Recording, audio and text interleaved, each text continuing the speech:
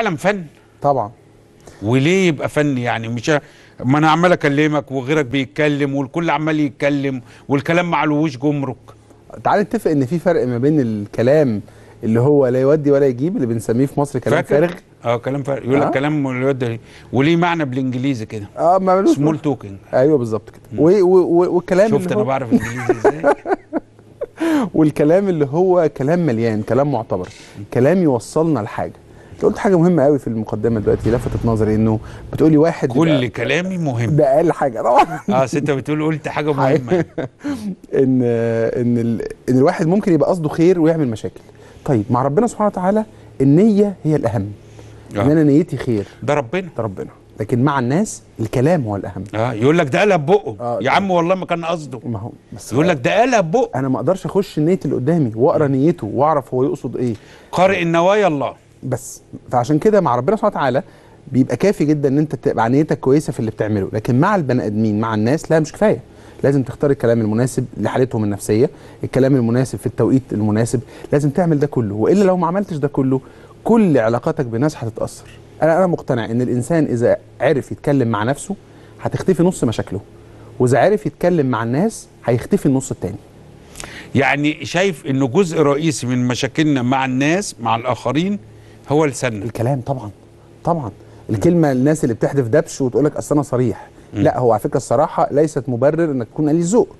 إنك وأنت بتتكلم يحدث تكون صح. الدبش اللي شافه قليل الذوق. طبعا. أنت إذا كنت عايز تقول حاجة خير لازم تقولها بطريقة كويسة وبطريقة إيجابية وبطريقة تشجع الناس. يعني إحنا عايزين نفتح نفس الناس إنها تسمعنا.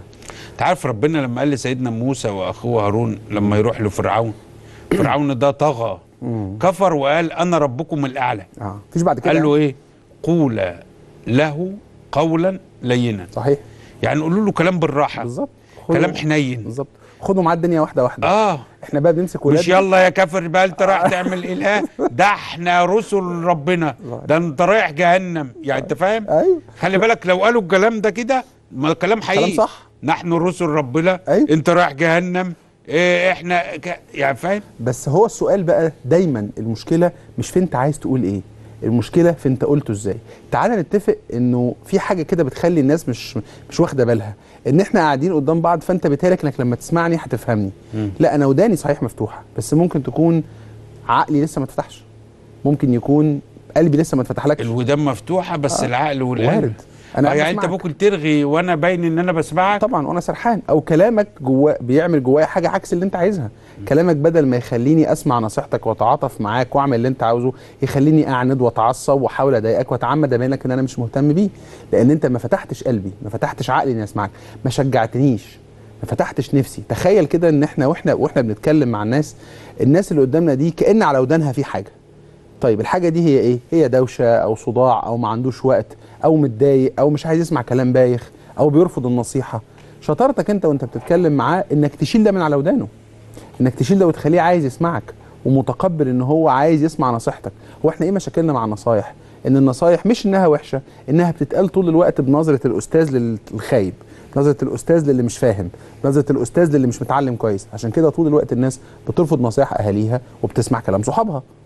ليه؟ لأن النظرة الفوقية دي إن أنا بفهم أحسن منك وأنا أشطر منك دي لوحدها تقفل اللي قدامك. فخلينا نتفق إن أنت لازم أنا نبي وأنت كافر. آه خلاص فايه بالظبط كده. ما ينفعش. لازم نشجع الناس إنها تسمعنا. لازم نفتح نفس الناس إنها تسمعنا. حاجة مهمة كمان ممكن تبقى أنت داخل تتكلم مع واحد وعندك نية كويسة عايز فعلا تنصحه وعايز تقول له حاجة كويسة بس هو يقول لك حاجة يعصبك يضايقك تلاقي نيتك اتغيرت. تلاقي نفسك لأ ده أنا عايز بقى أديله على دماغه. ده أنا عايز بعرفه إن هو مش فاهم حاجة. لو سمحت أي حد بيسمعنا وعايز يتكلم مع حد حافظ على نيتك. حافظ على إن أنت داخل تتكلم بشكل معين مع شخص ده تنصحه مهما كان عنيد مهما كان غلس معاك طيب. انت مصر. ايا كان المواقف اللي أنا هتكلم فيها بس أكيد آه، في قواعد بتحكم عملية الكلام ايا كان الموقف. أول قاعدة إيه مثلا؟ أول قاعدة زي ما قلناها من شوية آه، افتح نفس اللي قدامك انه يتكلم القاعدة الثانية خليك محدد. هو ده حوار في حاجة محددة ولا ده كشف حساب؟ يعني انت قاعد مع مراتك عشان تناقشها في مشكلة حصلت ما بينكم أو رد فعل ليها ما عجبكش أو اي تصرف انت معترض عليه ولا انت عايز توصل لها رسالة ان انت انسانة مش كويسة؟ فعمال تجيب لها القديم والجديد عمال تفكرها من أربع أيام حصل ومن أسبوعين حصل. خليك محدد خليك عارف انت عايز توصل ده مش كشف حساب محدش ينفع يتناقش مع حد في أربع خمس مواقف مع بعض إلا إذا كان مش عايز يتناقش ده عايز يقول معنى اللي قدامك ده وحش وخلاص. فلازم تكون محدد. لازم كمان وانت بتتكلم مع الناس ما تتكلمش معاهم إلا لما يكونوا هم مستعدين يسمعوا. عنده القابلية الوقت ده مناسب. المكان اللي انت بتتكلم فيه ده مناسب. هو مستعد يسمع النوع ده من الكلام. يعني ما يجيش لواحد مثلا هو بيشتكي لك من حاجة وتقرر انك تنصحه وتطلع له عيوبه إيه الصح وايه الغلط. هو دلوقتي محتاج منك مراعاة لمشاعره. عشان كده لازم وإحنا بنتكلم مع الناس نفرق ما بين نوعين من الاحتياجات. الاحتياجات المنطقية اللي أي حد فينا فاهمها والاحتياجات الإنسانية والعاطفية. إن اللي قدامك ده دلوقتي قد يكون مش محتاج الفرق الفرق إزاي؟ الحاجات المنطقية اللي أي حد ما يختلفش عليها. واحد جعان عايز ياكل واحد بردان عايز يلبس تقيل. دي حاجات منطقية خلاص. في حاجات أبعد منها شوية. في إنسان محتاج حنان الإنسان محتاج اهتمام. أيوه هو يعرف يعمل الحاجة دي لوحده بس أنت لما بتعملها معاه بتحسسه إن أنت مهتم بيه. مثال. مثال واحد ومراته. هي بتعرف تلبس وبتعرف تختار لبسها أو تقدر تنزل تشتري الحاجة من السوبر ماركت لوحدها. لكن لما أنت بتنزل معاها مرة كل فين وفين ده بيدي لها رسالة إن أنت مهتم بيها. طيب ما بتعرف تشتري. ما تقدر تتصل بال- بالموبايل ويجي لها home delivery بس الحكاية مش كده. الحكاية إن هي محتاجة دلوقتي نفسيا تحس إن في حد بيشاركها. ابنك بيعرف يتصرف وبيعرف يروح ويجي لكن محتاج منك مرة إن أنت تروح معاه التمرين. مش عشان توصله لكن علشان تحسسه إن أنت مهتم بيه. الاحتياجات النفسية دي أي واحد بيتعامل مع الناس وبيهمل احتياجاتهم النفسية وبيركز بس على الاحتياجات المنطقية عمر ما تبقى علاقته بيهم كويسة. طب هل الكلام بيختلف مني لمراتي عن مني لمديري عن مني لو أنا مدير وتحتية موظفين عن مني لجاري عن مني لأصحابي؟ ولا الكلام هو الكلام؟ لا في طبعا اختلافات. في اختلافات هو في أساسيات لكن الجرعات فيها مختلفة. جرعة الاحترام مع ابنك موجودة بس مع احترامك هتكون أزيد شوية مع مع مديرك هتكون أزيد شوية مع جارك هتكون ليها شكل تاني أو هتعبر عنها بشكل مختلف. فالحكاية إن الأساسيات ثابتة لكن الجرعات مختلفة. أنا بعمل خلطة كده وأنا بتكلم مع اللي قدامي بعمل تركيبة كده. وخلي بالك من حاجة في بقى قواعد مثلا تمشي مع كل الناس. زي مثلا إيه بلاش يا جماعة نشرة أخبار النكد.